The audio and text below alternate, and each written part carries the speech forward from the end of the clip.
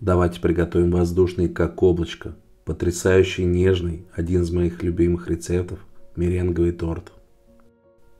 Отделяем белок от желтка, понадобится около 8 яиц. Добавляем пол чайной ложки соли и щепотку лимонной кислоты. Взбиваем на средней скорости до воздушной массы.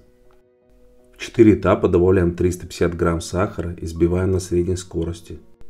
Сахар добавляем примерно через каждые 40 секунд и взбиваем до тех пор, пока масса не станет более воздушной и плотной, до пиков.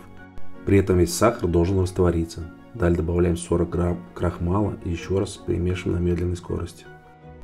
Отсаживаем меренгу в форме круга диаметром 18-20 см на силиконизированный пергамент. Получится три коржа, остальную меренгу наносим тонкими полосками, которые будем использовать для украшения. И ставим духовку разогретую до 140 градусов примерно 40-45 минут.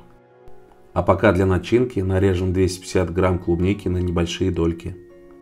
Смешиваем 600 грамм хорошо охлажденного творожного сыра, 300 грамм жирных сливок и 80 грамм сахарной пудры. Взбиваем, пока сливки не станут густыми, а крем более плотным.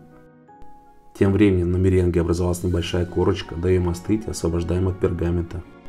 Полоски нарезаем на отрезки длиной примерно по 2 см.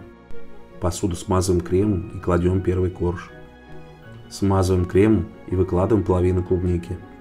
Равномерно распределяем и снова смазываем кремом.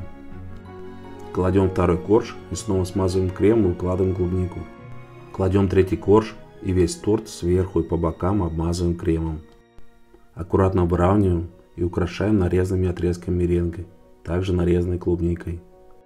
Наберемся терпения на 3-4 часа убираем в холодильник. Я уже готовил подобный рецепт, это меренговый рулет, и многие знают, что это один из самых популярных моих рецептов. Потому что однажды, попробовав этот десерт, вы точно не останетесь равнодушным. Этот десерт, ну необыкновенно нежный и воздушный. Обязательно пробуйте. Всем удачи в приготовлении. Спасибо за внимание и до новых встреч.